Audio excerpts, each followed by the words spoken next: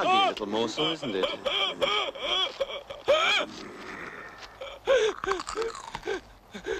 All right, Al? Good. Tea break's over. I hope you fucking choke, you oaf!